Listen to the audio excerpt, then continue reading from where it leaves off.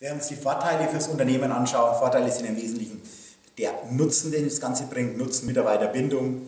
äh, Fachkräftegewinnung, Human Resources und auf der anderen Seite Liquidität, finanzielle Unabhängigkeit. Aber die Vorteile von einer pauschaludierten Unterstützungskasse jetzt mal über, das, über den reinen Nutzen hinaus sind die Möglichkeit der flexiblen Anpassung an das jeweilige Unternehmen.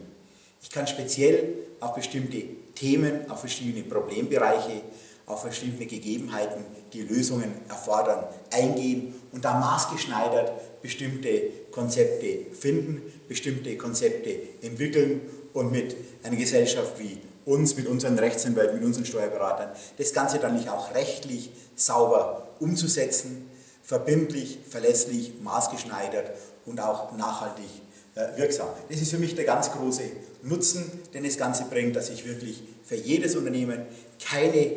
äh, Lösung, kein Modell, kein fixes Konzept drüber stellen, sondern individuelle, maßgeschneiderte, passgenaue Konzepte äh, machen, um die betrieblichen Anforderungen, um den Nutzen für das Unternehmen möglichst hoch zu quantifizieren.